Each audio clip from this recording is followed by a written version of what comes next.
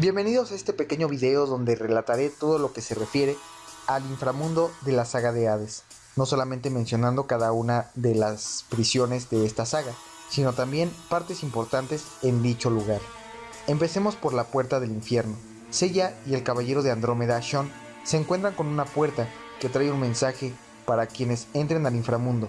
Este mensaje dice, aquel que entre aquí debe abandonar toda esperanza se encuentra esta desalentadora leyenda para todo que quiera entrar al inframundo. El río Aqueronte es uno de los ríos del infierno. Aquellos muertos que no son trasladados por el barco se quedan a la orilla del río sufriendo eternamente, o en su desesperación tratan de cruzar hundiéndose en las gélidas aguas del río, perdiéndose y lamentándose en esta dura eternidad. Primera prisión. Este lugar donde se encuentra el Palacio del Juicio, los pecadores que lleguen son juzgados y las mentiras son descubiertas al instante. Este lugar está custodiado por el espectro y juez del infierno, Minos de Grifo. En su momento, durante la saga clásica de Hades, quien se encargaría de cubrir a Minos sería Lune de Balro, el Valle Oscuro del Viento. Este lugar comunica la primera prisión del inframundo con la segunda prisión. Consta de un puente con dos espacios circulares en cada extremo, que comunica las primeras prisiones. Los reos enamorados sufrirán eternamente los vientos negros de esta zona. Segunda prisión. Posee una entrada con decoración egipcia. A su alrededor se aprecian ruinas y rocas columnas caídas entre estas. La entrada en sí es una muralla alta, a la que se accede por una larga y angosta escalera. Al llegar a la puerta podemos observar cuatro enormes estatuas de faraones sentados. Aquí se castigan a los avaros, quienes son golpeados por una lluvia helada y devorados por el terrible perro del inframundo de tres cabezas, Cerbero. Este lugar es custodiado por el espectro Faraón de Esfinge. Este espectro no es el único residente de dicha prisión. Al entrar se puede sentir un olor muy fuerte de Cerbero, que hace pagar a los condenados que fracasan en esta prisión devorándolos. Campo de Flores. Este lugar se encuentra también en la segunda prisión en la parte trasera. Es un lugar en el inframundo donde crecen hermosas flores. Es un campo cubierto de césped verde y hermosas flores de colores blancas, rosas y amarillas. En dicho lugar, en la serie, se encuentra convertida en piedra Eurídice o Eurídice, aquella que fue la enamorada de Orfeo, el caballero de plata de Lira. Tercera prisión, la gruta de la tercera prisión. Es un camino de tierra ladeado de dos altos muros de roca. Mezquinos y malgastadores son castigados en esta prisión. Ellos rodarán piedras eternamente como peso por sus pecados. Este lugar es custodiado por los espectros Rock de Golem e Iván de Troll. Cuarta prisión. El pantano de la oscuridad de la cuarta prisión es en realidad un gran valle cubierto con montañas oscuras y bañadas por las aguas de la laguna de Estigia. En esta prisión se castiga a aquellos que sufrieron de ira y desolación. Este lugar es custodiado por el espectro Flegias de Licaon. Quinta prisión.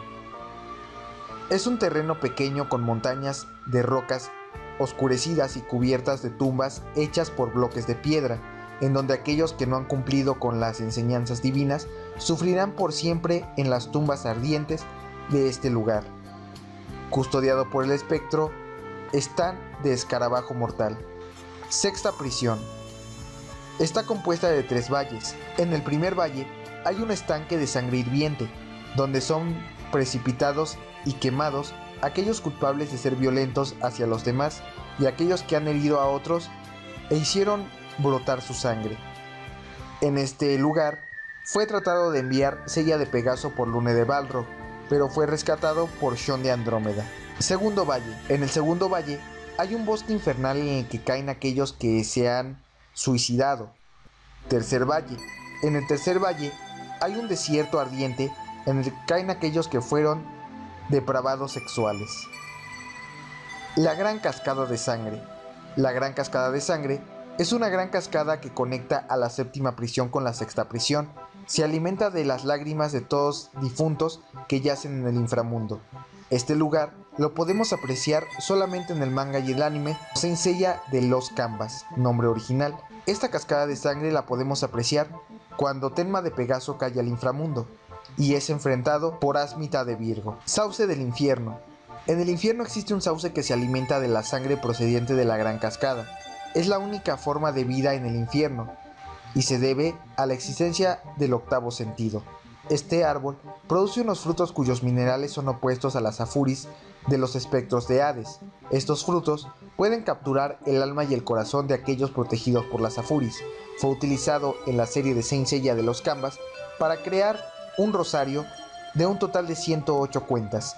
Estas 108 cuentas serían los 108 espectros del ejército de Hades, en el cual Asmita de Virgo se encargaría de quitarle su inmortalidad capturando su alma en dicho rosario. Sin embargo, Shaka de Virgo en la serie clásica utiliza dicho rosario no solamente para verificar qué espectros han sido destruidos y asesinados, adicionalmente de que Shaka en su momento menciona que ningún espectro posee vida eterna. Es posible que este rosario permita que los espectros no sean inmortales, tanto en la serie clásica como en el lienzo perdido. Séptima prisión. Se trata de la cárcel infernal más grande de todo el inframundo, es aquí donde los culpables de fraude, robo, corrupción, durante sus vidas, son aprisionados. Son calcinados por brea hirviente. Octava prisión, también conocida o llamada cositos, consta de cuatro esferas o círculos, que son Caína, Ptolomea, Antolena y Yudeca. Hablemos primero de Caína. Caína es la primera esfera del infierno helado, del templo de Cositos. Este templo pertenece a Radamantis de Wyvern, es un templo o mansión posiblemente hogar de los espectros. Posee una cúpula adornada de una estatua de Wyvern, mitológico en el que se basa las Afuris de Radamantis de Wyvern. Antenora es la segunda esfera del infierno de la octava prisión. Este templo pertenece a Ayacos de Garuda, donde aparte en la parte superior del techo aparece la figura de Garuda, animal que se basa las Afuris de Ayacos. Ptolomea es la tercera esfera de Cositos. Su guardián es el juez del infierno Minos de Grifo.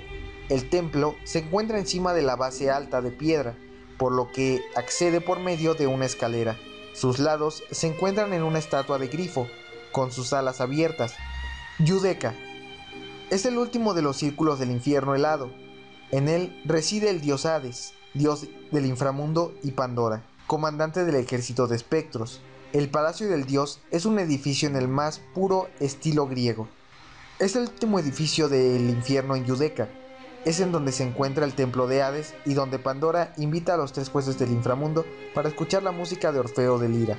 Desde aquí, Hades reina como emperador de las tinieblas y le da órdenes a los espectros a través de Pandora, la comandante de su armada, pues el dios solo se muestra muy raramente en Yudeca es la última parte del infierno, antes de los Elíseos, considerado como el punto terminal del infierno, siendo el lugar más profundo y con altitud más baja del inframundo. Ahora hablemos de Cositos. Cositos es donde son lanzados enteramente y atrapados los peores blasfemos, los culpables de traición divina y aquellos que se han rebelado, conspirado o se han opuesto contra los dioses y sobre todo contra el dios Hades, lo que en su mano sería el mayor de los pecados. Según Masami Kurumada, este lugar es protegido por el espectro Valentine de Arpía. Aquí caen y yacen todos los caballeros que cayeron en combates en las distintas guerras santas contra Hades. Sus cuerpos son abandonados en una gran extensión de hielo, en la cual se hunden totalmente y solamente permanecen sus rostros emergiendo desde el hielo, los cuales son torturados con las ventiscas heladas de dicho lugar y azotando su piel de manera eterna. Muro de los Lamentos. Dentro del trono al final de Yudeca, encubierto tras una cortina negra, está el indestructible Muro de los Lamentos, marcado con esfigies de himnos y tánatos. Es el muro de la desesperanza para los simples mortales, pues solo los dioses pueden cruzarlo y es la última frontera que marca el límite máximo de Hades y que solamente el rayo del sol puede perforar. Nishaka, el hombre más cercano a Dios, consiguió derribar este impenetrable muro. La dimensión espacial temporal paralela que existe entre el muro y los campos elíseos, el paraíso de los dioses, se encuentra cruzando el muro. Este mundo permaneció intacto desde tiempos mitológicos y finalmente sería destruido durante la última Guerra Santa, cuando los doce caballeros dorados reunieron su cosmos y se sacrificaron para recrear la brillante luz del sol. Y finalmente existen otros dos templos adicionales en el universo de los caballeros del zodiaco y también en lo que sería el inframundo. El primero se llama Templo de Atabaca. El templo de Atabaca es donde vive el espectro Atabaca. Posee un templo en un lugar del inframundo que todavía se desconoce. Dicho templo posee una estructura parecida a lo que poseen los templos budistas que se encuentran en Japón. Y por último tenemos la prisión. En la cercanía de la colina de Yomotsu se encuentra una prisión para las almas protegidas por Fyodor de Mandrágora. Esta prisión la podemos apreciar en la serie de Saint Seiya de los Canvas, los guerreros del zodíaco y lienzo perdido, donde es aprisionado Tenma de Pegaso, ya que no logra llegar a la colina de Yomotsu por culpa de la pulsera de flores. Esperemos que este video haya sido de tu agrado, donde analizamos todo lo que serían las partes del inframundo que se encuentran en la serie de los Caballeros del Zodíaco. Eso ha sido todo de momento, nos vemos hasta la próxima.